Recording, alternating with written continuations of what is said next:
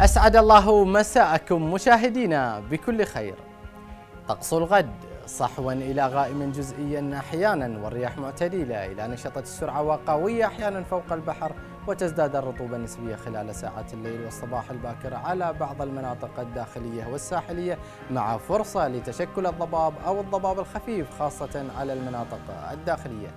والبحر مضطرب الموج في الخليج العربي وبحر عمان.